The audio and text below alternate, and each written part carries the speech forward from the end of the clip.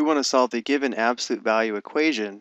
So we'll first isolate the absolute value on one side of the equation, and then we're going to set up and solve two equations based upon the absolute value principle, and then we should check our solutions. Looking at our equation, we want to isolate the absolute value of 5x plus 3. We want to isolate this first by adding and subtracting, and since this is a positive 5, we should start by subtracting 5 on both sides of the equation. This would be 0, so now we have negative 2 times the absolute value of 5x plus 3 equals, this would be negative 18. And then this negative 2 is attached by multiplication, so we'll divide both sides by negative 2.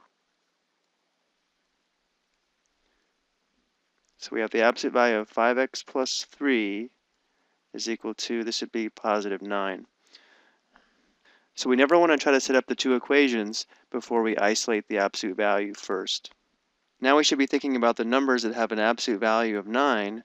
Well, we know the absolute value of positive 9 is equal to 9, but the absolute value of negative 9 is also equal to 9. This is the reason why we need two equations to solve this absolute value equation.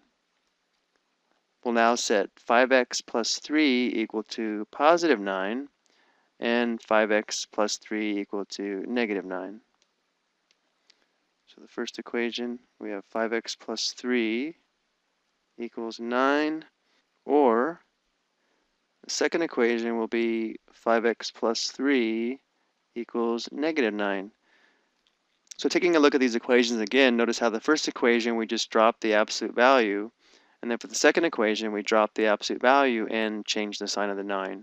So now we'll solve these two equations, so we'll subtract 3 on both sides should be 0. So we have 5x equals, this would be 6.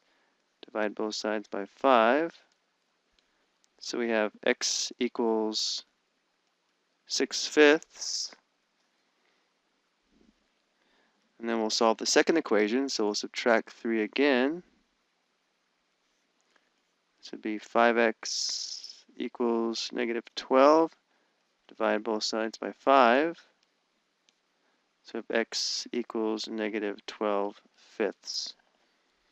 So again, our solutions are x equals 6 fifths or x equals negative 12 fifths. Now we can go back and check these solutions, but they do work.